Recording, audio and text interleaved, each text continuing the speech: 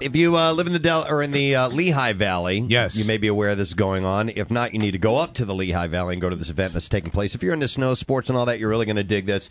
Uh, our friends from uh, Buckman's are opening up a new location in Whitehall, and I believe the grand opening is this evening. And they're going to have uh, some guys stopping in and uh, and doing some signings and pictures and all that stuff. In the world of snowboarding, you can't get bigger than these guys' names. Please welcome uh, Dingo, Louie Vito, Yeah. Danny Kass, our show this morning. Gentlemen, good morning. Good morning. Good, Good morning. morning. Good to see you all once again. I get the general feeling, the general vibe that uh, the snow sports are back on the way up again. Uh, people, uh, there seems to be a lot of buzz. Press. Hang on, hang on. We were on the way down. Yeah, I didn't know that either. What happened? What happened? What? What? No. Sh- Shaun White brought us down. Is that No, what you're no, saying? no. I'm, t- I'm talking Really? for I'm talking for the regular person, not your Shaun White. Okay, yeah, because he's unregular. Yeah, yeah, yeah, yeah, yeah. He's I'm, not I'm- human. I'm, talking about your celebrity. Oh, you, yeah, you, yeah, Mr. yeah. Shades Yeah, over there. right. Pipe You're- down for a second. He's got his two. Uh, he's got his two sons getting involved with it, and they're they're loving it. Yeah, yeah. Yeah. We, we Can I ask a question? Yeah. Do you do your sons like Shaun White? No, they have no idea who he is. Yeah, yeah, that's okay. That's No, they, They're like they Barry just, White. Now they just wanted. They just thought boarding was cool, and uh, and they had actually. And I, I wasn't going to push it on them or anything like that because I hadn't boarded in like ten years. I just didn't have the time to do it, and and uh, and just kind of fell out of it.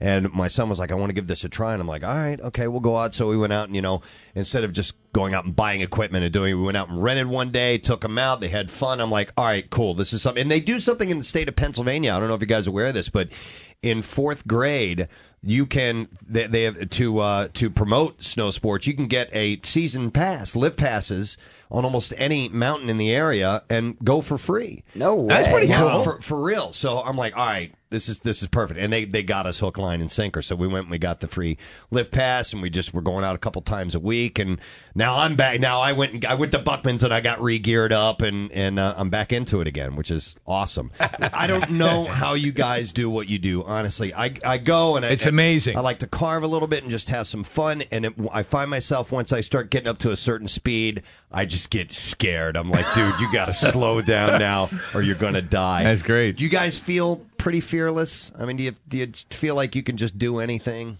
I mean, you're some of the best. So Well, I, when when you do think like that, normally you take a slam right after, and it brings you back to reality real fast. So. right. So just when you get full of yourself is when you, you hit a tree or something. Yeah, exactly. yeah, yeah. Like, oh wait, never mind. I'm not invincible. Okay. But I mean, you, you got to carry a bit of that because you know it's it, to me it looks really inviting, but um, you know it, it, it's hard to get off the couch. That's the issue with me. Yeah, but it's the rush, you know. I mean, you're kind of building yourself. For us, it's you know we feel the fear just like you know you feel going fast, but it's always about like trying something new for the first time and kind of like conquering, you know, whatever fear that is. Is it know? how you process it? Like you, you I mean, you, you turn it to your advantage because where my inclination would be to sort of ball up and cry, you would probably feed off that. Yeah, you know, you got to let it out. It's Yeah, like yeah. pain sometimes is, is you know a great outlet for for whatever you know. Sometimes But it's, you- but it's also good. once you once you learn, like say you're trying a trick that you're super scared to do, and you do it. The reward's so high, the feeling that you have after landing that trick that you know that you're scared to know. Talking about and- big bragging rights. Yeah, yeah, Yeah. absolutely. High fives. That's what we live for, and I think all three of us, that's all we've lived for since we were young kids. I Yeah. started snowboarding when I was six. Louie is about the same. Danny, you know, 12, 10, and both these guys, I'm not an Olympian, but, you know, these guys have both competed at Olympics. Danny's two-time Olympic silver medalist, and it's that's been our life. I, I assume from early early on, you guys like to push the limits. Uh, yeah, for sure. I mean, you know, it's it's definitely you know it's got its rewards. You know, there's obviously you know a way to make a good living, and then the travel is a huge benefit. I mean, you're kind of going all around the world to these remote places and mountains, and It's the most remote place you've been where you said uh, maybe I shouldn't have come here.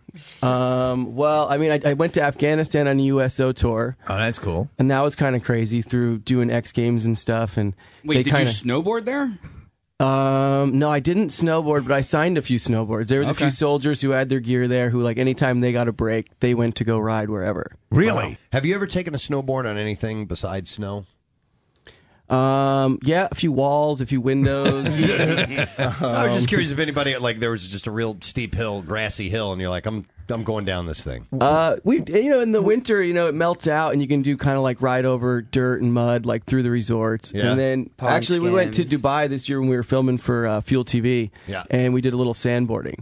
Oh, really? You can do that? Yeah, but we kind of figured Did figured you do out. any sandboarding, Dan? I don't think you did. I did. I did a run. I did one you run sure you did a down run? the stu- Yes, I'm sure. Like when you find a board that you like, is it is it tough to get off that and, and get on a new board or even boots or, or, or whatever?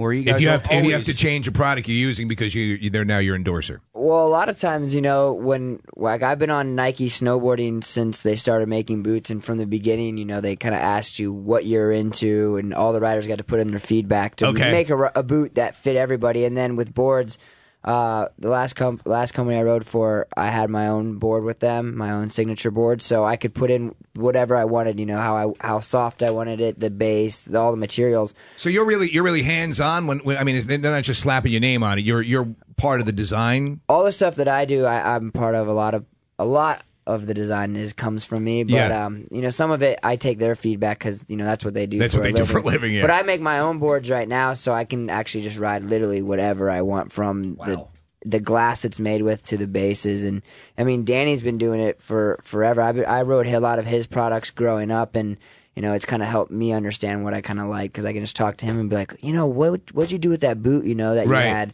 before. So Is it is it kind of uh, kind of cool to go into a store and uh, say I'll I'll take uh, two, a pair of size nine me's. Uh, can I get a discount on those? Um, the cool thing about for me growing up, you know, doing it was, it was like you know the most ultimate weekend, you know, with your dad or your mom or your friends, you know, parents, and kind of doing a weekend trip. You know, you're so close to all the resorts around here Yeah. in New Jersey and Vermont and New Hampshire. It's Hey, like Poconos too, man. Yeah, I mean, that's where you're gonna out be there. tonight. Yeah. It's a good place to learn. I mean, I when I first started going out with, I have two boys, and I was I was like, you know, concentrating. You got to link your turns. You got to link your turns. You know, and I, and I just kept kind of pushing that on. And then I stepped back. I'm like, just let them go out there and They'll just- figure it they'll- out. Exactly. it- after a while, they'll figure it out. You know. Hey guys, awesome to see you again. Thanks for stopping. Yeah, stopping thanks by. for having us again. Have a good time. Give some love, gang, Yeah. for uh, our friends Danny and Louie and Dingo, And tonight they'll be in Whitehall at the. Buck-